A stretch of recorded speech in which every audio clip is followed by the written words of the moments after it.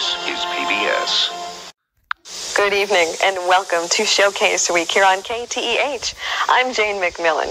At KTEH, we are a different sort of public television station. We, of course, bring you all the best of PBS, like the Civil War series.